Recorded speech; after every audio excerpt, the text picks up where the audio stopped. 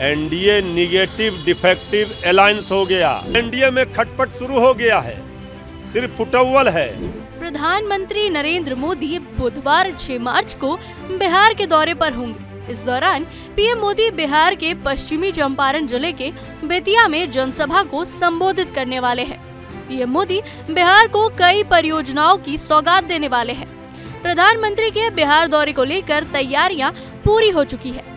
और वो कोलकाता के रास्ते बिहार में एंट्री लेने वाले हैं। हालाँकि बिहार के मुख्यमंत्री नीतीश कुमार इस जनसभा में पीएम मोदी के साथ मंच साझा करते नहीं दिखेंगे। दरअसल नीतीश कुमार बुधवार शाम दिल्ली रवाना हो रहे हैं, जहाँ वो एनडीए की बैठक में शामिल होंगे, जो कि लोकसभा चुनाव सहयोगी दलों और सीट शेयरिंग को लेकर है।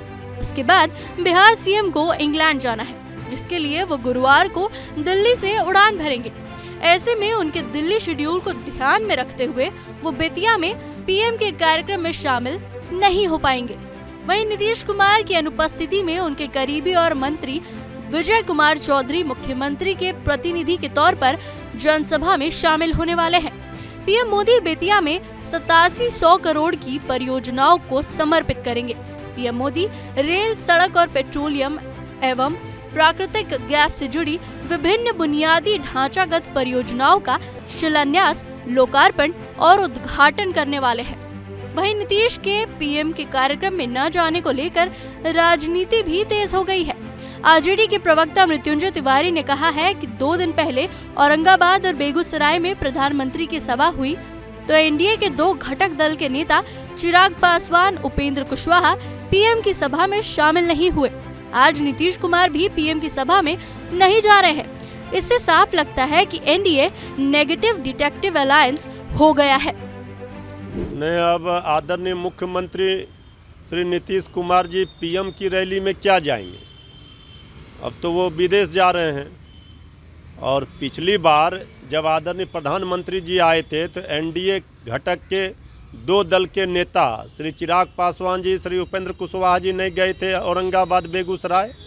आज आदरणीय प्रधानमंत्री जी बेतिया आ रहे हैं तो आदरणीय नीतीश कुमार जी नहीं जा रहे हैं। एनडीए निगेटिव डिफेक्टिव अलायंस हो गया और एनडीए के नेताओं के हाथ और गले भले मिलता हुआ दिख रहा है लेकिन दिल नहीं मिला है। है इसलिए कह रहे हैं एनडीए में खटपट शुरू हो गया है। सिर्फ़ फुटअव्वल है।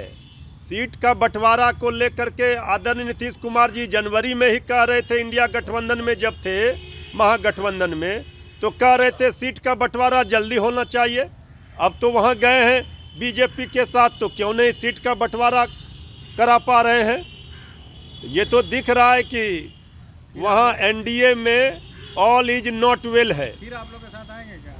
अब कहाँ आएँगे कहाँ जाएँगे? कभी इधर, कभी उधर मैं, श्री तेजस्वी यादव जी ने कहा ना उस दिन कि क्या करेंगे आदरणीय मुख्यमंत्री जी, ये तो वही बता सकते हैं। लेकिन अब जनता कहीं नहीं जाएगी, जनता श्री तेजस्वी यादव जी के साथ ही रहेगी।